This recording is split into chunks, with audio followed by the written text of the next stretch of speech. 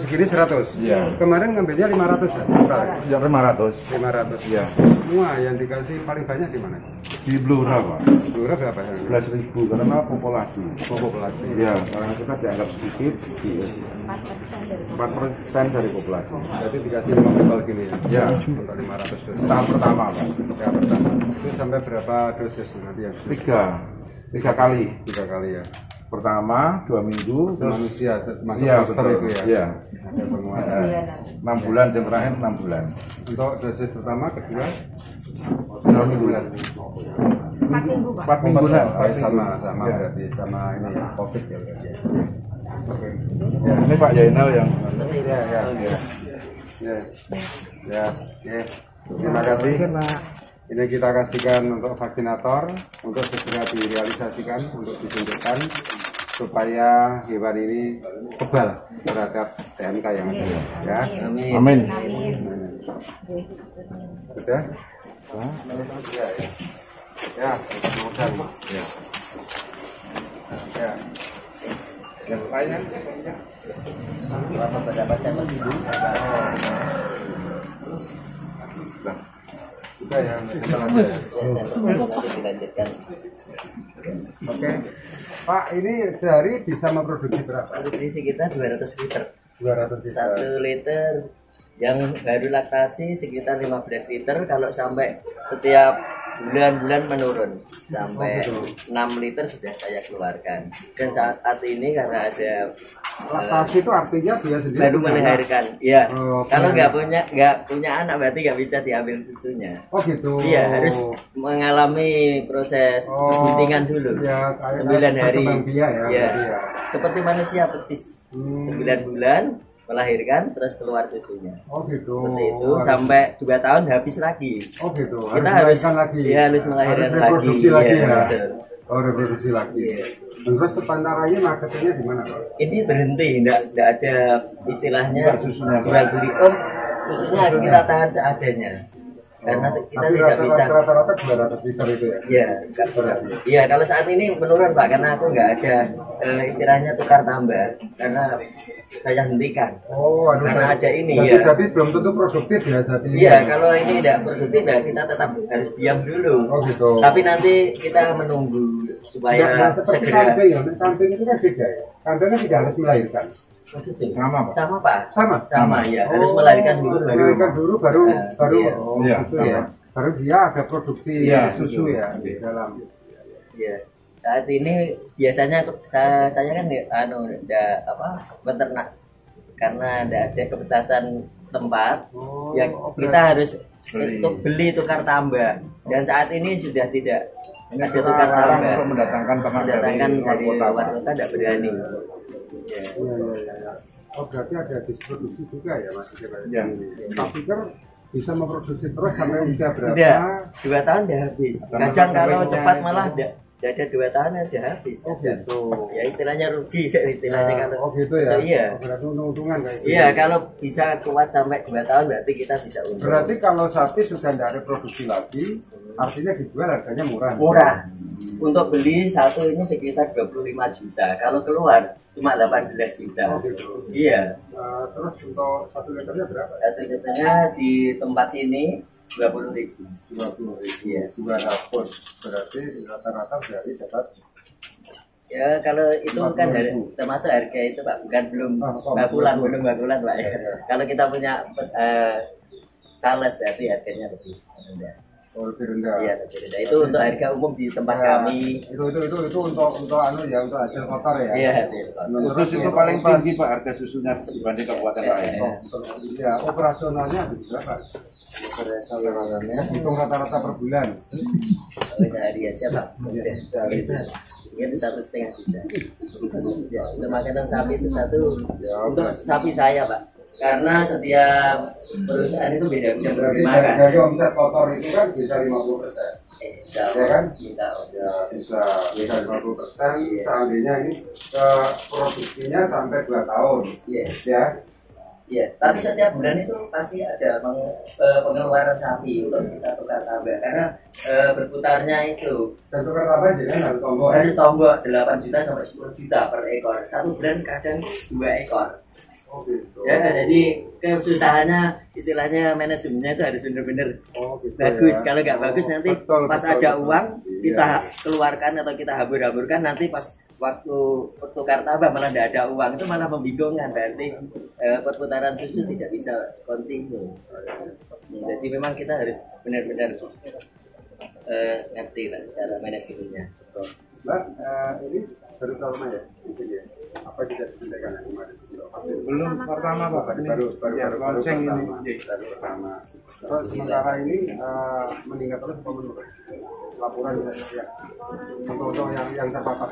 meningkat anu Pak dari kemarin aja 15 atau 15 tiap hari sekitaran itu. Terus. Terus sembuhnya. Sebenarnya lumayan, Ya, berimbang enggak? imbang malah agak banyak sedikit Pak. Nah, berarti kan menurun. Artinya kasusnya menurun. Iya. Sekarang ini. Iya. Sekarang sekarang berapa?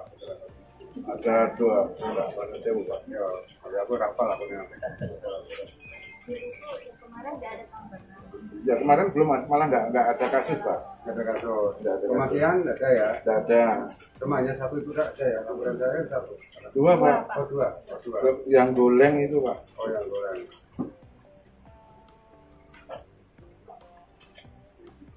Ini masih kita tutup ya untuk yang di sana ya pasar hewan ya. Iya. Tapi ya.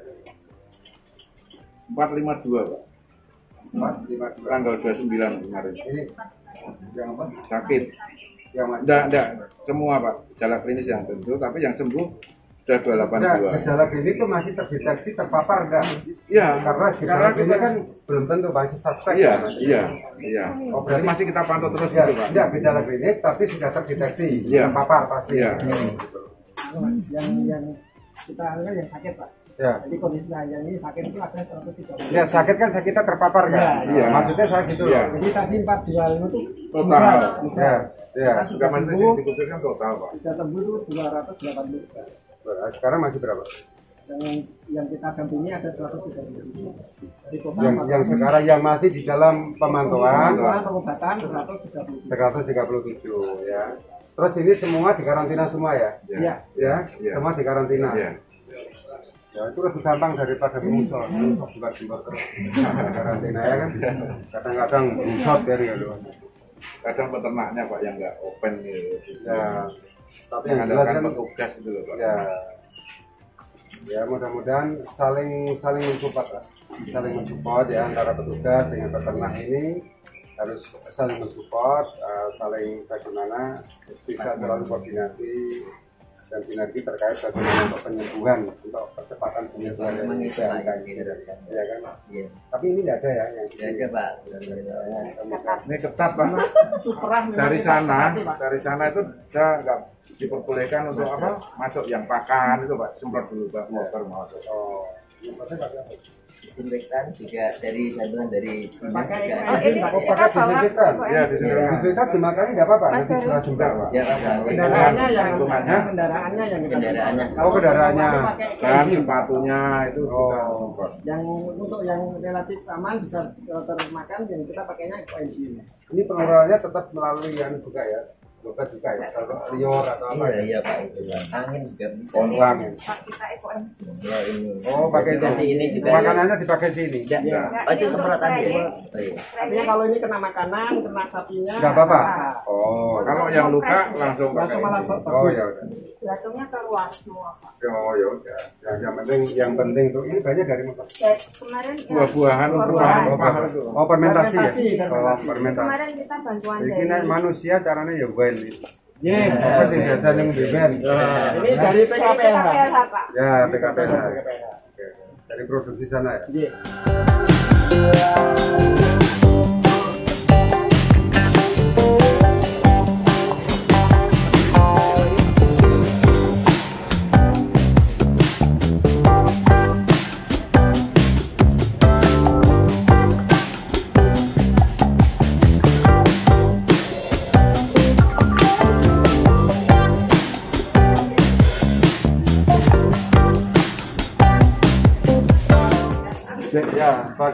Vaksinasi ini punya tujuan bagaimana supaya menjaga stamina untuk hidup hewan, nah, tentunya menaikkan antibodi ya.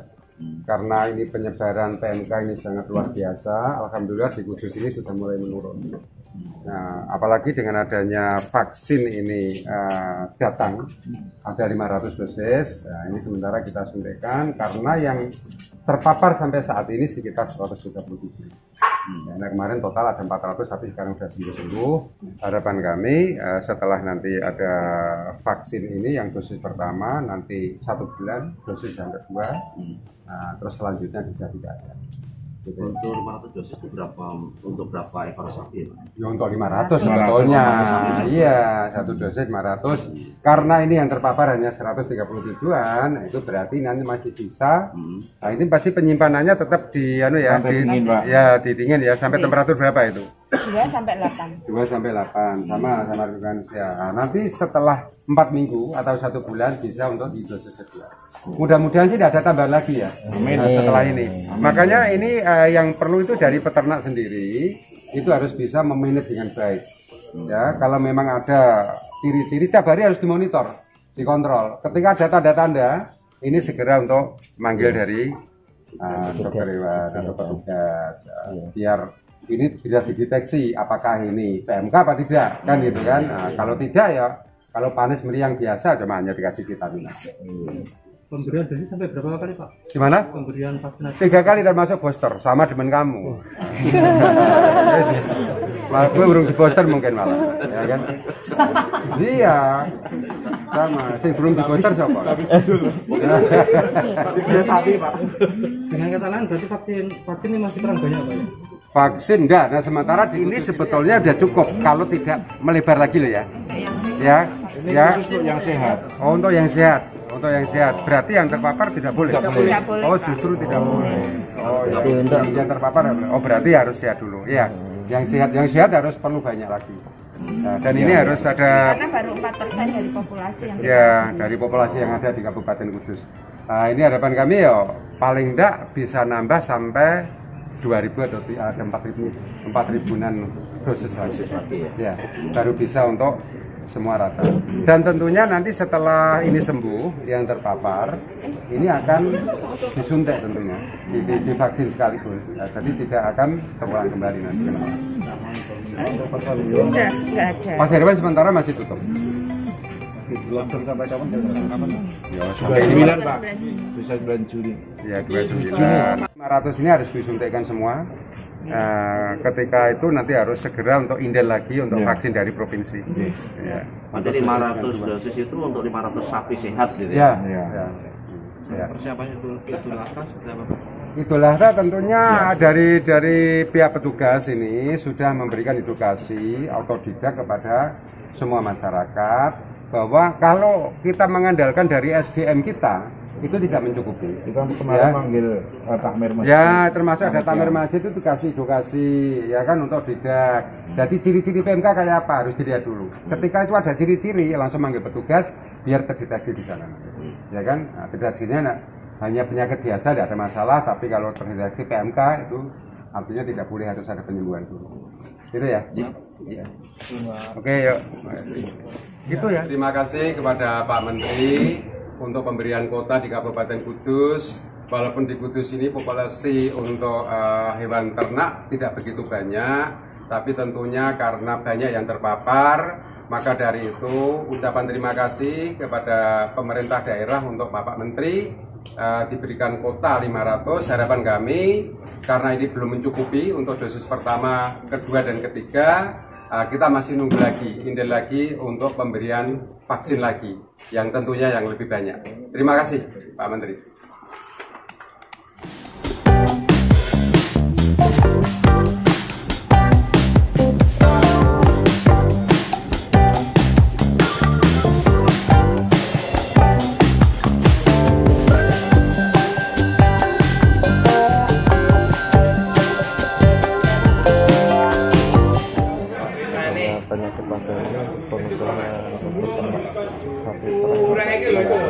Ya, pastinya resah sekali ya, karena ini sangat mudah menular dan pe- penanganannya ya juga masih cukup sulit ya dikata karena masih ada yang mati itu kan membuat kita juga susah.